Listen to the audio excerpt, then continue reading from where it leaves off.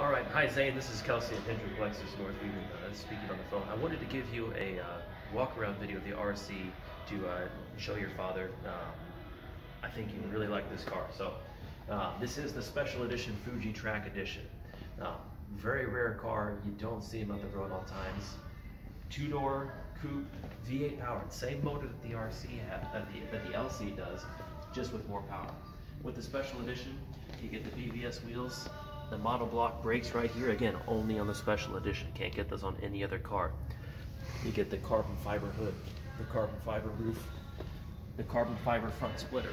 In fact, let me uh, pop the hood for you here. Show you the hood again.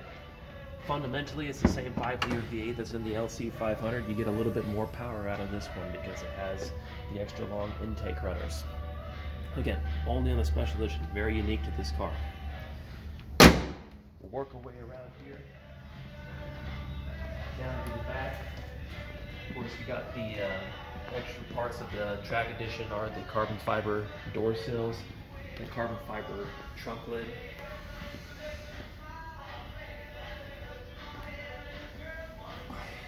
And then one of my personal favorite parts of the car, very unique. You don't see this all day. You got the raw titanium exhaust. It has that beautiful bluish rainbow color. That's not a finish. That is raw titanium right there. Very, very cool. Let's move to the interior. Again, on the track edition, unique interior just to this car.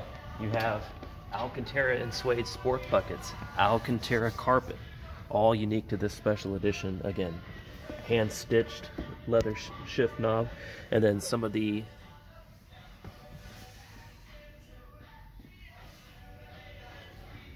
then of course you get some of the other track goodies uh, like the uh, paddle shifters the adaptive variable ride. Um, basically overall an extremely special well attended to car and uh, I think it has everything your father's looking for in a Lexus Coupe V8 powered so um, give me a call. Let me know when you'd like to come take a look at it. Um, got it here at uh, Hendrick Lexus Kansas City North at Tiffany Springs, and I hope to see you soon.